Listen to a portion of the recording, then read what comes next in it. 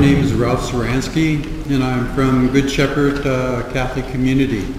And I was asked today to come up and share with you why the Rosary is important. And the thing I have to say about the Rosary, it's our greatest armor against hell. It defeats sin, it decreases vice, and defeats heresy. It's one of our greatest blessings that we have from our Holy Mother to overcome the sins and difficulties in our lives. And I found in my lifetime that it is one of the greatest blessings that I've ever experienced in my entire life.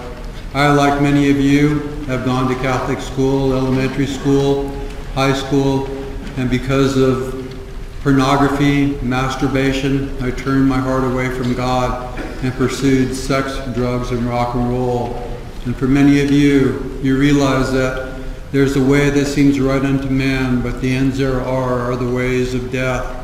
And before I killed myself in the darkness of sin and the addiction to drugs, I barely remembered the Our Father and the Hail Mary, which are the only two prayers that I could remember. But in the darkness of my room, those were the prayers that brought me back, back to Christ as a born-again Christian, and all the way from a born-again Christian to a Reformed Calvinist and then a Protestant, and then back to the Catholic Church, the one true church.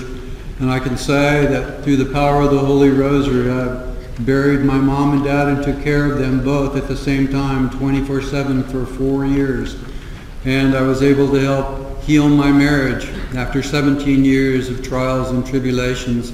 And now, because of the Holy Rosary and praying it daily, I now stand in front of the abortion clinic three to four days praying with other prayer warriors, praying the Holy Rosary, and feeling that closeness to God that can only come from praying with other men of God, true men who love God, who love the Rosary, and we're praying for those souls of those babies that are being slaughtered at the abortion clinics, as well as we pray for all the people that drive by and we wave and smile and hope that they see that we're praying for them. We hold our rosaries up high and we witness to them and show them that this is the greatest weapon against the evil war that we're fighting against. So men, as Father Bill Casey says, Tim Staples, Al Kresta,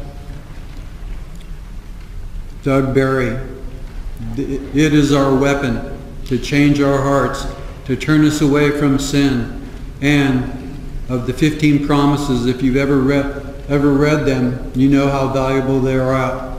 If you haven't read the 15 promises of saying the rosary, I recommend that you read it every day because it's one of the greatest signs of predestination that there are.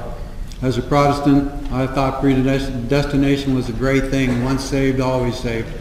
But saying the rosary and following our Blessed Mother as she guides us to love of our Lord Jesus Christ, it is the true sign of predestination.